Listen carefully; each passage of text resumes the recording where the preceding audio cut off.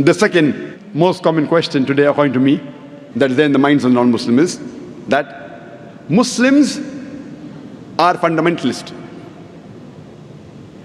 And many a time we Muslims feel ashamed and we don't know how to reply. What is the meaning of the word fundamentalist? Fundamentalist by definition means a person who follows the fundamentals of one particular subject.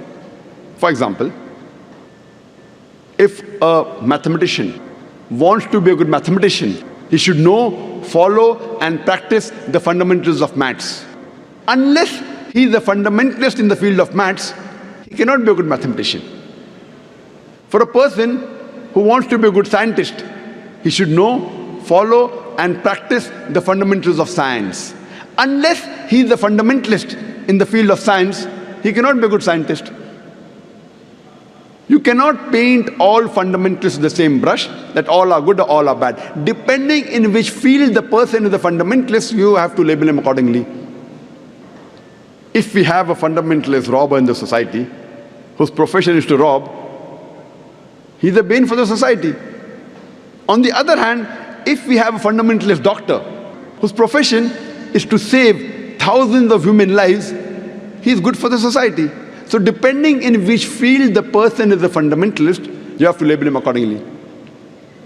As far as I'm concerned, I am a fundamentalist Muslim and I am proud to be a fundamentalist Muslim.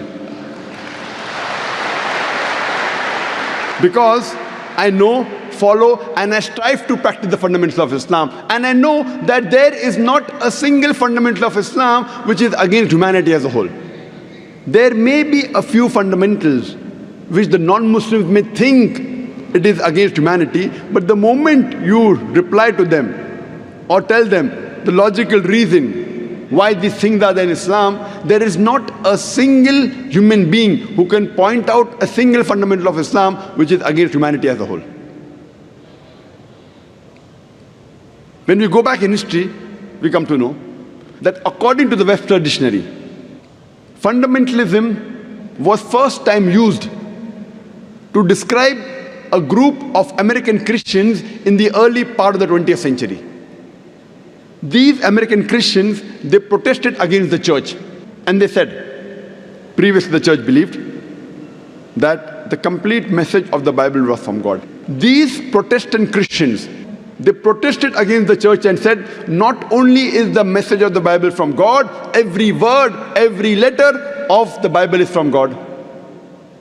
If someone can prove that every letter, every word of the Bible is from Almighty God, then this movement is a good movement. On the other hand, if someone can prove that every word, every word of the Bible is not from Almighty God, then this movement is not a good movement. When we read the Oxford Dictionary, the Oxford Dictionary says that fundamentalist is a person who strictly adheres to the ancient or fundamental doctrines of any religion. But when we read the revised edition of Oxford Dictionary, there's a slight change. It says that fundamentalist is a person who strictly adheres to the ancient scriptures or fundamentals of any religion, especially Islam. Especially Islam has been added in the revised edition of Oxford Dictionary. The moment you hear the word fundamentalist, immediately you start thinking of a Muslim. The Muslims, they're fundamentalists, they're extremists. And we Muslims, we are becoming apologetic. No, no, no, I'm not a fundamentalist. No, no, I'm not an extremist. I say, I am an extremist. I'm extremely honest, I'm extremely just, I'm extremely kind, I'm extremely merciful, I'm extremely loving. Can anyone tell me why being extremely just, extremely honest, extremely loving, extremely merciful, extremely kind is bad? What's wrong in being an extremist? The Quran says you have to be extremely honest. You can't be partly honest when benefits you, you're honest. When doesn't benefit you, you're dishonest. The Quran says you have to be extremely honest, extremely just. So if you are a practicing Muslim, you have to be extremely kind, extremely honest, extremely just. We have to be extremist in the correct direction. We should not be extremists in the wrong direction. But a Muslim should be extremist in following the Quran.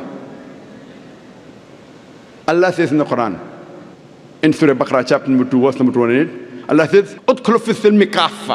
Enter into Islam wholeheartedly. You can't say partly. So why are the Muslims becoming apologetic? The media is attacking Islam and unfortunately, we Muslims, we have the best deen. But why are we afraid? Why are we apologetic? It's time that we turn the tables over.